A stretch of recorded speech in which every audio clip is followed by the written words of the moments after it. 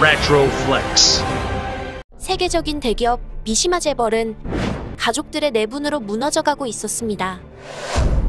헤이아치는 아버지 진파치를 몰아내고 총수가 되었지만 데빌 닌자를 소유한 아들 카지아와 대립해 혼란은 지속되었죠.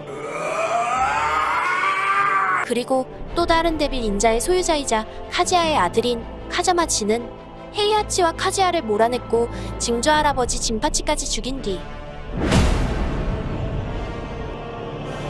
미시마 재벌의 총수 자리를 차지하게 됩니다. 하지만 진의 의식을 침투한 데빌은 미시마 재벌의 강력한 군사력을 이용해 세계 전쟁을 일으켰고 군사 대기업 지사를 차지한 카지아와 대립하게 되죠. 그리고 세계 정복을 노리는 섀도르의 베가 장군도 음지에서 나와 개입합니다. 그렇게 전쟁이 지속되던 어느 날 남극의 정체불명의 외계 상자 판도라가 떨어지는데 기묘한 힘을 감지한 베가는 조사를 위해 군함을 보내지만 판도라의 불가사의한 힘으로 인해 부하가 폭주했고 군함이 격침되는 사건이 일어나죠.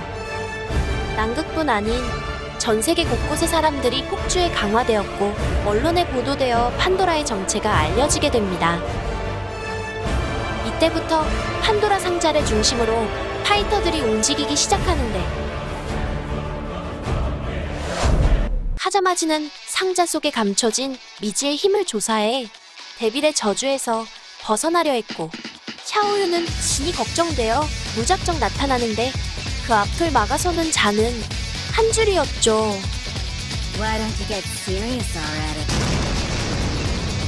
놀랍게도 베가와 나타났는데요. 그녀는 베가에게 원한이 있지만 그저 재미를 위해 협력했고 베가는 무한한 가능성을 가진 판도라의 힘을 차지하려 미시마 재벌을 막으려 합니다.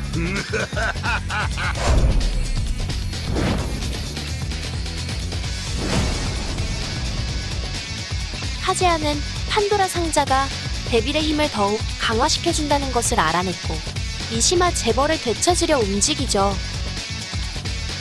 그때 카지아 앞에 나타난 자는 리나 윌리엄스. 수상했지만 남들보다 빠르게 판도라의 상자를 얻기 위해 함께하기로 합니다. 슐리어 케미는 섀도르의 움직임을 포착해 판도라를 조사하기 시작했고 가일과 아벨도 섀도르를 조사하기 위해 비밀리로 움직였죠.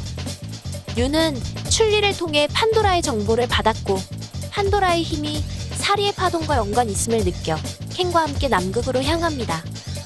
헤이아치도 진과 카지아를 무너뜨리기 위해 행동을 개시했고 애완동물 쿠마와 함께하죠. 달신과 사가트는 판도라가 나타난 이후 아이들이 실종되었다는 것을 알았고 조사를 위해 같이 움직이기로 합니다. 화랑과 스티브는 대회 도중 섀도루의 폭격을 받아 복수를 위해 나서죠. 포이즌과 휴고는 레슬러 멤버들을 구하기 위해 활동했고 가난에 허덕이던 폴 피닉스와 마셜로우는 판도라 상자가 돈이 될 것이라 생각해 움직입니다.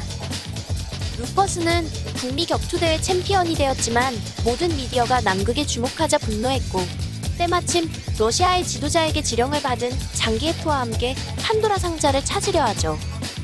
아머킹을 쫓던 킹과 머독은 남극의 아머킹을 닮은 자가 나타났다는 소식을 듣고 조사를 위해 나섭니다. 가인은 세상을 어지럽히는 판도라 상자를 제거하려 했고 코디는 폭력을 즐기기 위해 가이와 동행하죠.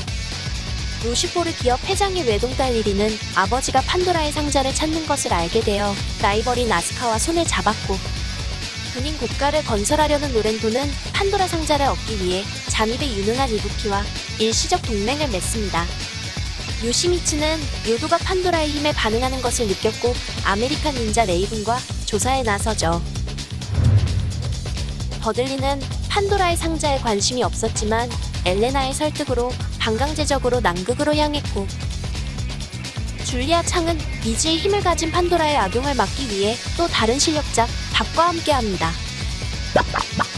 히비키다는 강해지기 위해 무작정 남극으로 떠나는데 뒤늦게 다니 사라진 것을 알게 된 사쿠라와 블랑카는 무작정 남극으로 쫓아갑니다. 지사를 습격한 브라이언 퓨리는 신형 로봇 제객스를 탈취했고 판도라 상자를 노리고 남극으로 향하죠.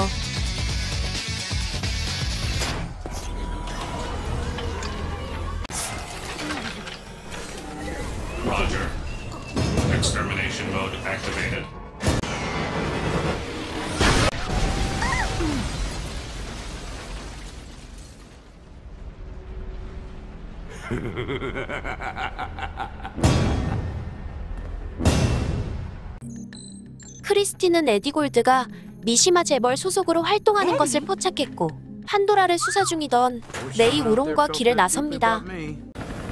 그리고 섀도루 전함에 나타나는 라스 알렉산더슨. 미시마 재벌 철권 중 장교이지만 반기를 들었으며 전쟁을 끝내기 위해선 상자가 있어야 한다고 생각해 알리사와 비밀 작전을 수행 중이었죠. 라스는 판도라의 폭주한 시도로 부하를 만나 공격당하는데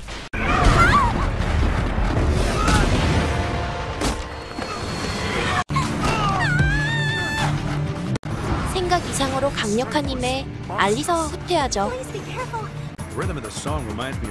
레이오론과 크리스티는 선착장에 도착하지만 누군가의 습격을 받는데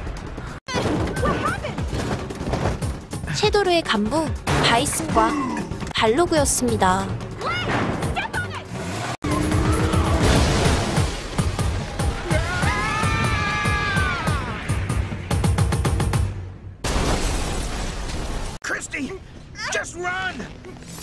판도라의 상자를 노리는 격투가들을 막기 위해 대가의 지령을 받고 나타난 것이죠.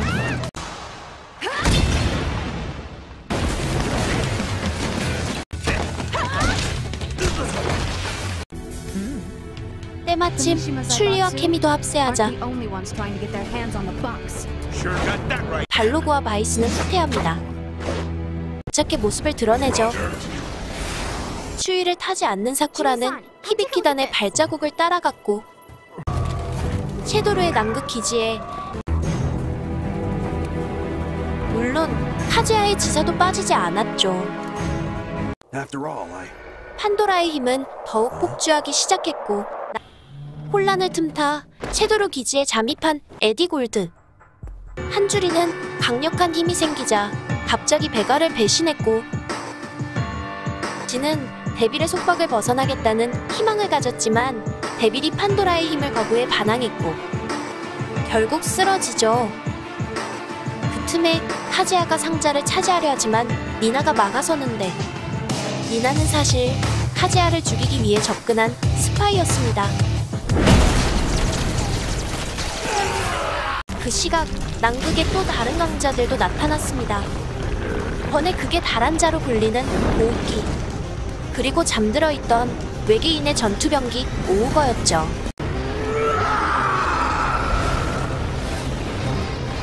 판도라를 만든 존재는 전투 데이터를 수집하기 위해 수천 년 전에 오우거를 창조했고 오우거를 다시 귀환시키기 위해 지구에 나타난 것이었습니다.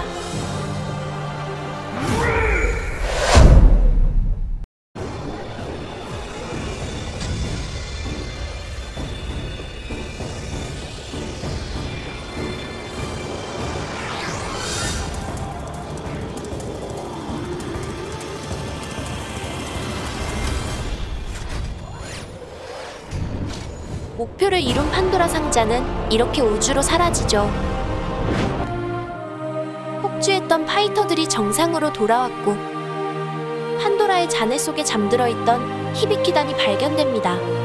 사가토와 달심도 행방불명된 아이들을 무사히 구출하죠. 헤이아치는 카자마 진이 쓰러진 틈을 타 미시마 재벌을 장악했고 카제아의 지사와 계속해서 전쟁을 벌어가던 어느 날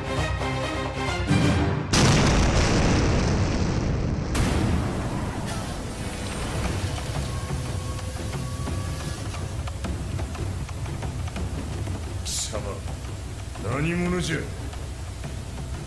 我は剣を極めし者なりほうならば言葉はいらんなチェアテイクオフ